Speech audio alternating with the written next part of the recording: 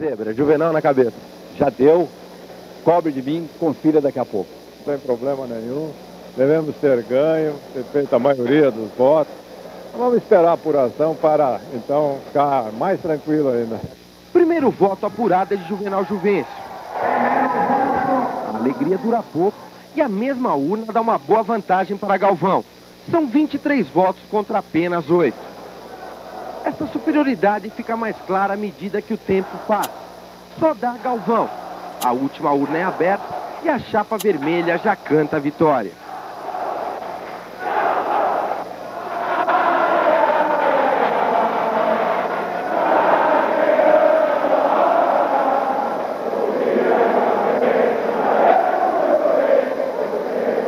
Foram mais de cinco horas de expectativa para a tão esperada definição.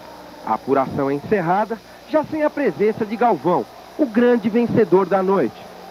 Foram 1.218 votos contra 960 de Juvenal e 506 de Paulo Cunha.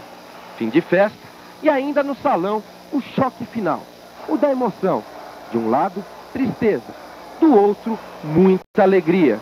Que o torcedor ganha com esse novo presidente.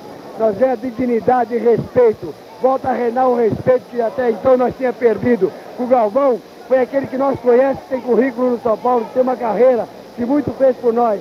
Então a gente de São Paulo estava muito triste com esse presidente Juvenal de Vez, que até então era um desconhecido aqui no Morumbi. Com Costa liderando, arregimentando o movimento da realização, a vitória foi insofismável e tranquila.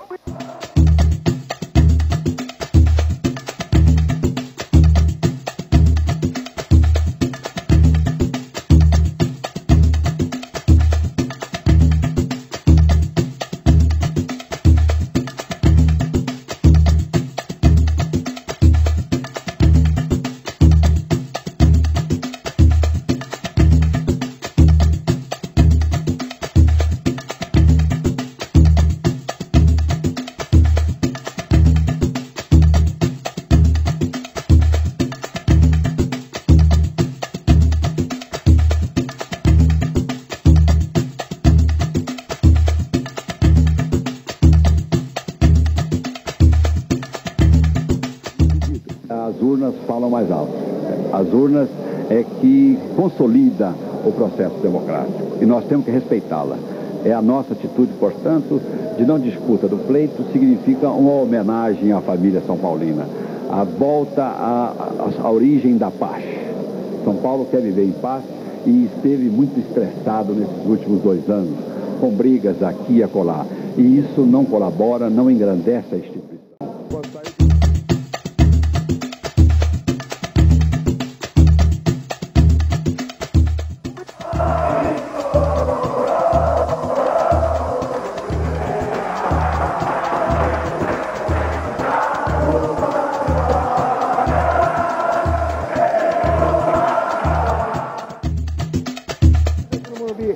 Para o futebol, vai ver o que vai acontecer.